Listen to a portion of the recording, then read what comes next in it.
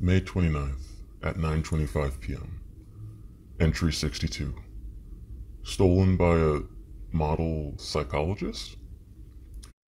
Okay, the most insane thing just happened to me over the course of the last few hours. Today went okay to begin with. I woke up late, did my P90X workout at Gold's Gym, then went home quick enough to grab a drink before Kevin, wrestling practice friend, came to pick me up. I hopped in the car and we went to wrestle for about an hour. When I got back, I took a quick shower and prepared to meet with a guy from who knows where with the online screen name that bracket implied he was home and bracket.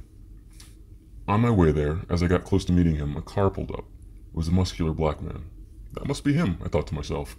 We started talking for a little bit, then I hopped in his car and went back to his place. His sister's place, really, I think. Two hours passed as we conversed, and he showed me his modeling pictures and revealed he was bisexual but leaned slightly more towards guys, and that he also studies psychology, as well as is currently a forensic psychologist. When it was time to drop me off, he gave me a hug and he drove me to the top of my street and parked. He admitted he wasn't the guy I was supposed to be meeting, and that it might have been something akin to divine intervention. He called me over uh, when I was on my way to meet with the original dude earlier in the day because he thought I looked like someone he knew from school, his brown school friend Marcus. And I had a conversation at length with him because I thought he was the dude. Uh, bracket. He said he figured out I wasn't who he thought I was, but kept talking to me because I hadn't figured it out yet. And because he thought I was attractive, I think.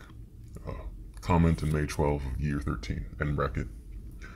I told him I wasn't mad in the least and laughed a ridiculous amount to myself as I left. It was unbelievable.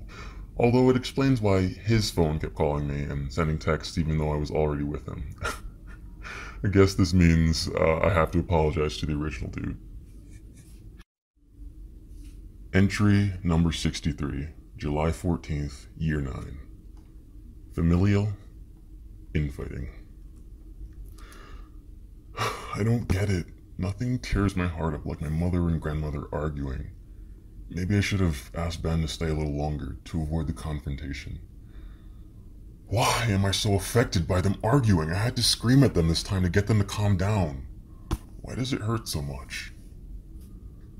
September 17th, Year 9, Entry 64 Unprotection.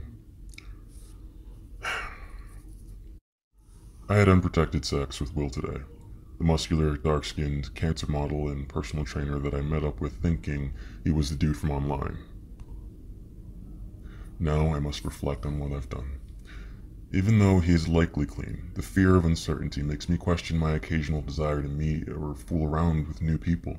It makes me question the point of becoming physically attractive. Is it for myself? Or is it for others while I just say that it's for myself? It kind of makes me want to just love Ben, stop trying so hard, and leave it at that.